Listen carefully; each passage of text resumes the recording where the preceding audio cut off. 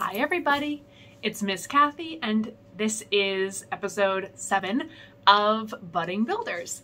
So, today our challenge involves a box of paint and a bunch of kittens. So, before we jump into our rhyme, what would you do if you found a giant box of paint? So we have all the colors of the rainbow and um, and it's gloopy and it's sticky. What would you do?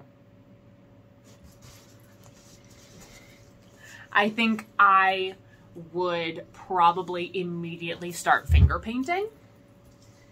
But let's find out what these six kittens get up to with their box of paint.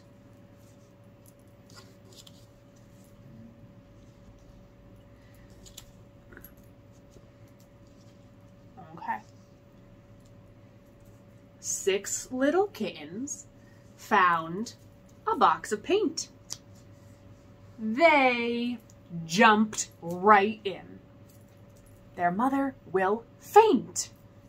The first little kitten turned out red. I'll be orange, the second one said. The third little kitten turned bright yellow. What color do you think is next? I'll be Green, said the next little fellow. The fifth kitten said, My favorite is blue. Purple for me, said the sixth with a mew. Dancing home the kittens go to show their mother a kitten rainbow. Red, orange, yellow, green, blue, violet is a rainbow. Mama Cat said, You are the most colorful kittens I've ever seen. Then, one by one by one by one by one by one, she licked them all clean. And we end back up with our six clean little kittens. So, your challenge is to build something to help Mama Cat clean up her messy, paint-covered kittens because it's very nice of her to lick them all clean, but I don't want Mama Cat having to lick all that paint off.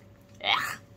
So, using your imagination and whatever building materials you have around the house, I want you to build anything that you think will help Mama Cat clean up her rainbow kittens.